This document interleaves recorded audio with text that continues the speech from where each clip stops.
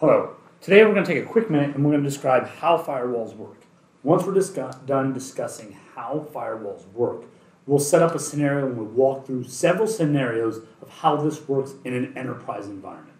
So first and foremost, at a very, very basic level, how a firewall works. So in my scenario here, my very basic scenario, we have a server with a firewall and we have a computer.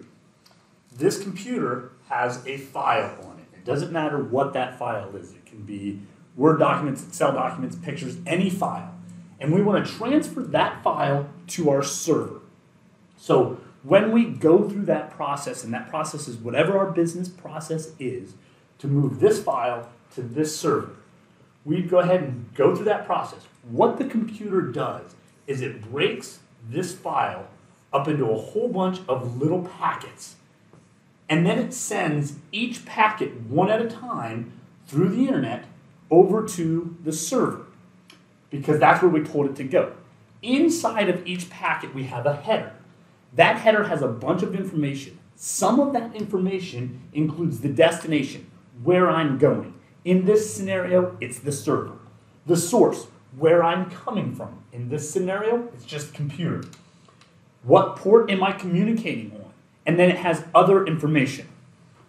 Once we get to the firewall or the server, we get to the server because that's where the packet has come. The firewall has a set of rules and it inspects those packets against those rules. And so it looks at the rule, and if it says, I'm coming to this server, which obviously it is, I'm coming from, you know, computer A, we'll call it computer A, on port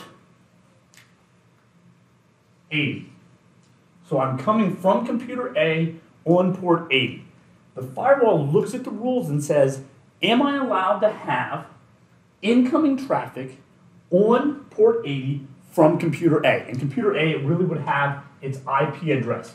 And we'll say its IP address is 55.6.7.1. So it's 55.6.7.1. It's sending that over here. The rules here say allow incoming from 55.6.7.1 on port 80. And so that packet will arrive at the firewall. The firewall will look at it and say, oh, I have a rule that says allow incoming traffic from 55.6.7.1 on port 80. And that packet would then go through and be processed by the server.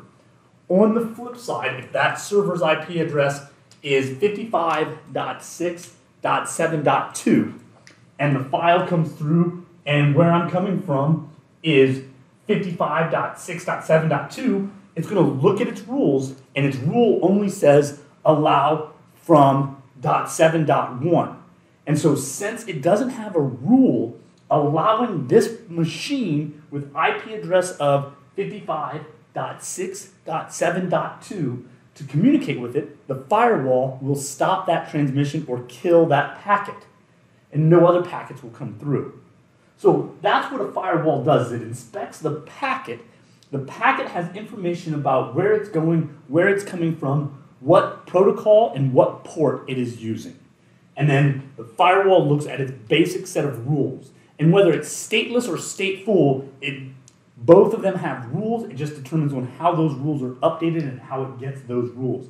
But it looks at its set of rules and says, Am I allowed to allow this packet through? Yes or no? If yes, it allows the packet through for the server to process it. If no, it kills that packet. So, at a very basic, very high level, this is how firewalls work.